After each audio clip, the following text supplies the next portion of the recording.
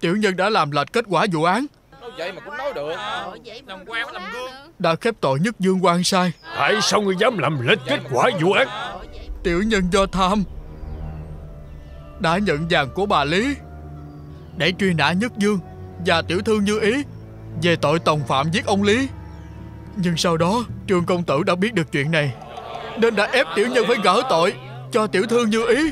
Rồi sau đó bắt tiểu nhân ép cung nhất dương để nhận tội Để kết thúc vụ án.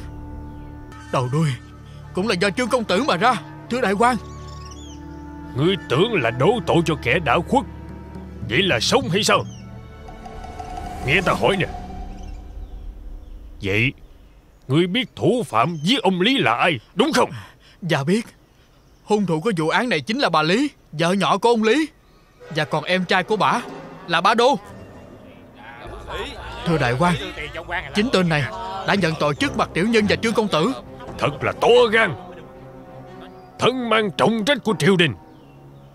Để đem lại trị an cho dân chúng. Ngươi lại ý vào điều đó Để ngậm bạc đút lót. Ngươi dám làm lệch đi hồ sơ vụ án Khiến cho người dân mang tội quan sai. Ngươi biết tội hay chưa?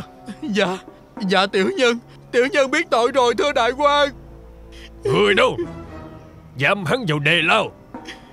Chờ ngày ta thảo sớ.